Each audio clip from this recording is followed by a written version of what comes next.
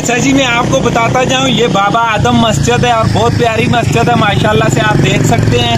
अभी यहाँ ड्रोन को उड़ाते हैं और पूछ इलाके का व्यू लेते हैं और अच्छी जगह है, माशाल्लाह से बहुत प्यारी मस्जिद बनी हुई है।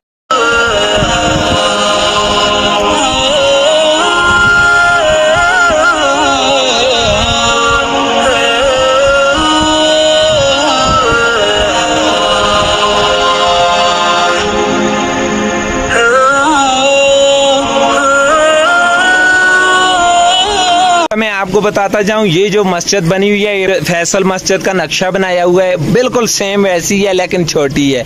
और बहुत प्यारी है, ये आप देख सकते हैं, ये साथ में पहाड़ है, पीछे ये रोड है, ये पीछे रोड है, और इस साइड पहाड़ है। और पहाड़ों के दरमियान में ये बनी हुई है। और बहुत खूबसूरत, बहुत ही मतलब प्यारी जगह है। मुझे तो बहुत पसंद आई है, उम्मीद करता हूँ आप लोगों को भी पसंद आई होगी।